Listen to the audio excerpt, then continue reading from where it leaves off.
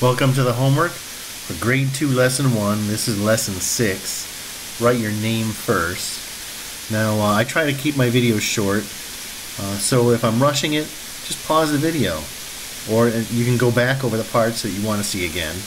Uh, if you're rushing to write everything down uh, just pause it and then catch up and then you can go ahead or sometimes you may not need to watch the whole video. You can skip ahead to the parts you need to watch. Um, so we'll just start with take. We're taking out 10. This part is just what's 10 less than 40. We got a 10 and a 30. 50 is 10. It's five tens, right? So one less than five tens is four tens. So we've got 40 and 10. 70 is seven tens. So if I take out one of those seven tens, I've got six tens left, and that's 60 and 60 is 6 tens. If I take 10 out, then I have 5 tens left, and that's 50. And 80 is 8 tens. If I take 1 10 out, that's 7 tens left, that's 70. And we're just practicing the step that we need to do first when we're going to take from 10. We're going to start with the 10 to take from.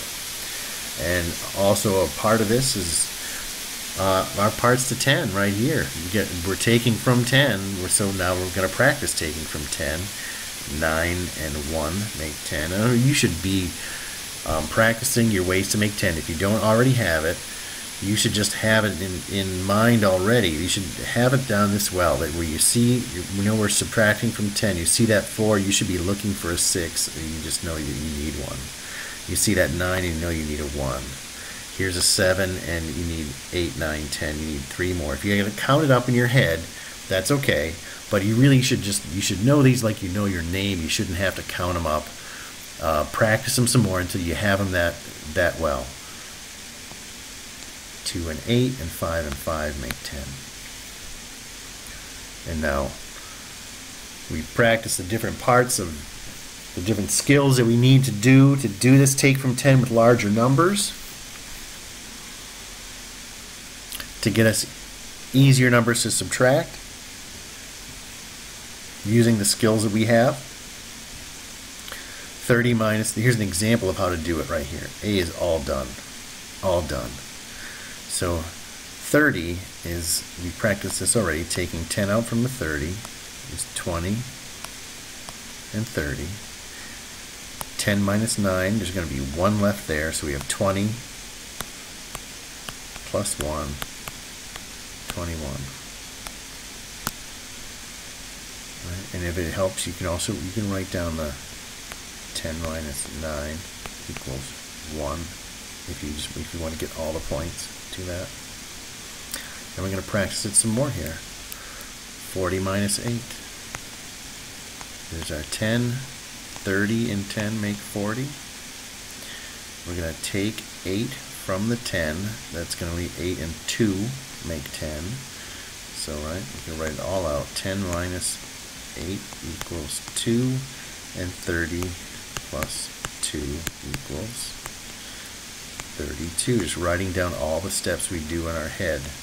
Maybe you can do this mentally already, but we still want to see you write it down because we're just getting good at it now or just starting to learn it. So we really want to write down all the steps, show your thinking.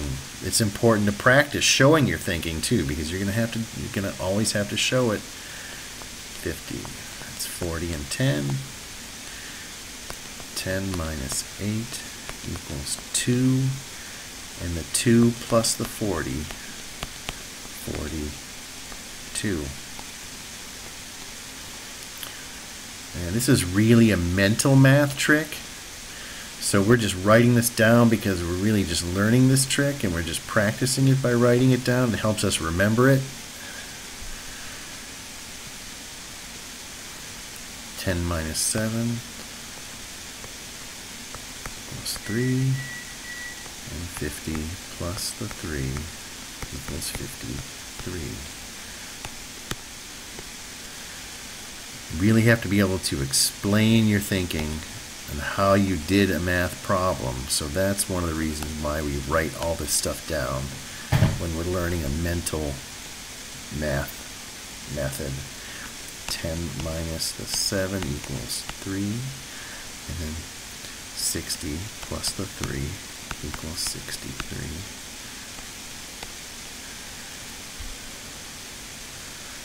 And now we're looking at 80, so let's split that up. 70 and 10. Take 6 from the 10, and there's going to be 4 left, right? 10 minus 6 equals 4. And then we take that 4 and we'll add it to the 70. 70 and 4, 74. 90 is 10 and 80. Take 5 from the 10, you're going to have 5 left. And that's 80 plus 5.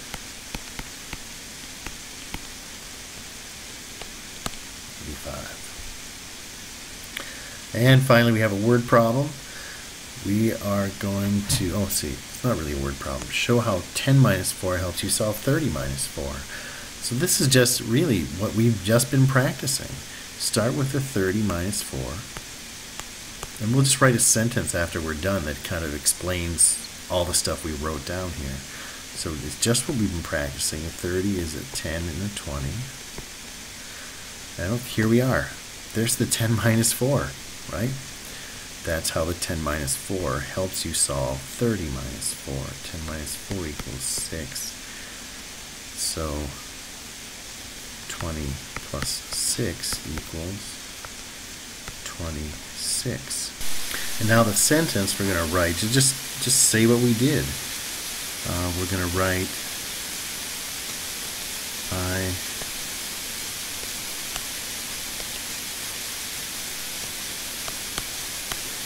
I split 30 into 20 and 10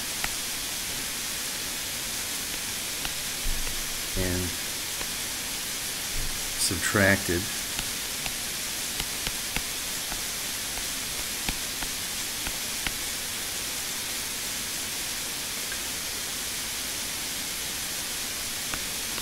Ten minus four equals six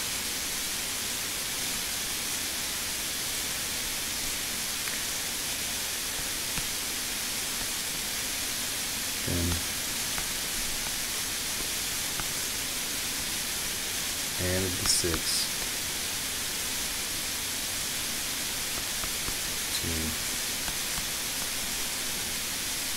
20. That's it, just write what you did.